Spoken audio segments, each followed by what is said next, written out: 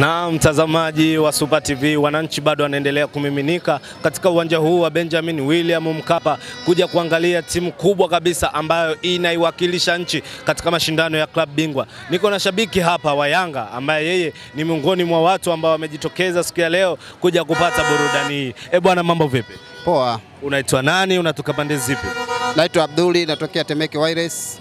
Temeke Wireless mpaka uwanja wa Benjamin William Mkapa. Eh, hamu gani ama shauku gani iliyokufanya siku ya leo uje kupata burudani hii? kuja kuisapoti timu yetu ya da Young African.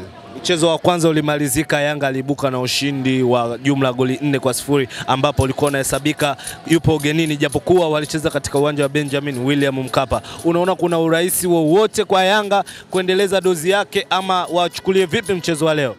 Dozi kama kawa na isitoshe, ya- mechi ya leo lazima, tushi, lazima utushinde, kwa maana Yanga sasa hivi iko vizuri kwa kila sekta, kuanzia wachezaji mpaka kocha wetu Nabi tunamwamini.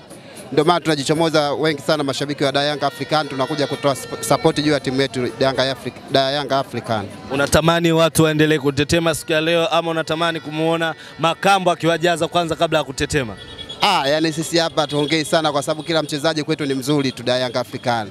Sio Mayele peke yake, wengi tu ni wazuri zaidi, lakini Mayele na na, na huyu Aziki na sasa hivi Tusila Sinda ni mzuri zaidi. Kwa hiyo sisi tuna uhakika kushinda mechi ya leo. Ndio maana viongozi wameona bora washushe kidogo atipunguzo ili mashabiki wa Yanga tuje kujaza uwanja kwa penzi yote wa Yanga African.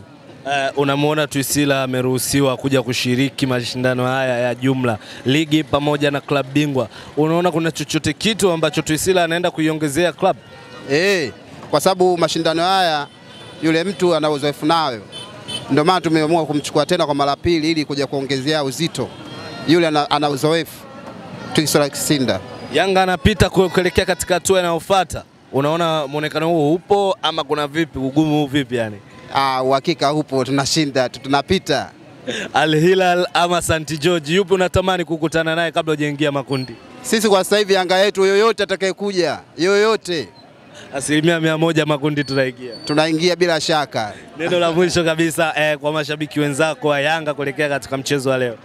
Neno langu la mwisho na hapa kwanza, na hapa kwanza kwa mashabiki wetu wa Yanga wajichomoze, na hususan tawi langu la Temeke Mikolosheni nao wajichomoza kwa wingi, waje kuangalia mchezo wa leo, sio kukaa kwenye TV na kuangalia. elfu mbili viongozi wameona hela ndogo, wananchi wote waje kuingia, wajaze uwanja, wanachama wote wa Yanga African, sio kuangalia kwenye mabanda ya video. Siku ya leo kuja kushuhudia mechi ya leo ilikuwa tafu, kuja kutoa sapoti kwa timu yetu tulionayo ili tuendelee kusonga mbele zaidi.